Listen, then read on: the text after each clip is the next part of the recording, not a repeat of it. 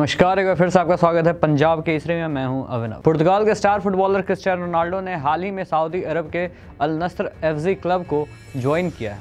Club ने उनकी launching भी की, जिसमें हज़ारों दर्शक पहुँचे। रोनाल्डो के साथ उनकी गर्लफ्रेंड जॉर्जिया रॉड्रिगेज और बच्चे भी सऊदी अरब में आए हैं। लेकिन अब एक मुश्किल खड़ी हो गई सऊदी अरब के सख्त कानून के अनुसार रोनाल्डो और जॉर्जिया एक साथ नहीं रह सकते। सऊदी अरब का कानून यह कहता है कि देश में समलैंगिक लिविन में रहना, बिना शादी के बच्चे पैदा करना आदि गैर कानूनी है। वहीं अगर ऐसा रोनाल्डो करते हैं तो उन्हें सऊदी अरब कड़ी से कड़ी सज़ा दे सकती है। आइए वीडियो के ज़रिए जानते हैं कि रोनाल्डो को सज़ा मिल सकती है या उनके लिए कोई ऐसा प्रावधान होगा जिससे वो इस मुसीबत से बच सकते हैं। सैंतीस वर्षीय क्रिस्टियानो रोनाल्डो ने फीफा वर्ल्ड कप के बाद सऊदी अरब के अल नस्त एफजी क्लब में शामिल हुए।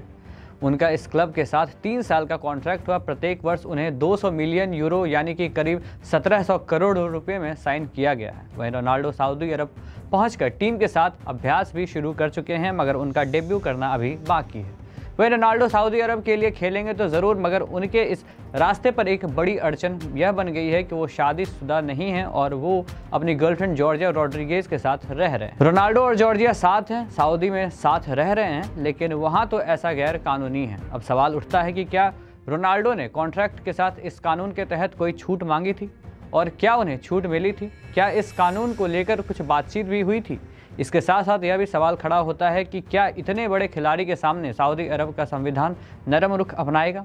इस पूरे मामले पर स्थिति साफ़ होती है या नहीं, ये तो देखने वाली बात होगी, मगर कहा यह भी जा रहा है कि जब से 2017 में सऊदी अरब के किंग मोहम्मद बिन सलमान बने हैं, तब से देश के कानून में नरम रुख अपनाया है, स्पेशली औरतों के मामले में। हालाँकि खबर यह भी आ रही है कि रोनाल्डो और उनकी गर्लफ्रेंड सऊदी अरब के इस कानून को तोड़ने के लिए तैयार हैं और साथ में यह भी कहा जा रहा है कि इन दोनों को सऊदी अधिकारियों की ओर से दंडित किए जाने की संभावना ना के बराबर है। वहाँ के वकीलों के अनुसार बिना शादी के साथ रहना तो जुर्म है, लेकिन अधिकारी अब इस तरह के केस में नरम रुख अपनाता है और किसी पर सज़ा थोपने से बचता है। मगर अगर कोई क्राइम होता है तो इस कानून को इस्तेमाल ज़रूर किया जाता है।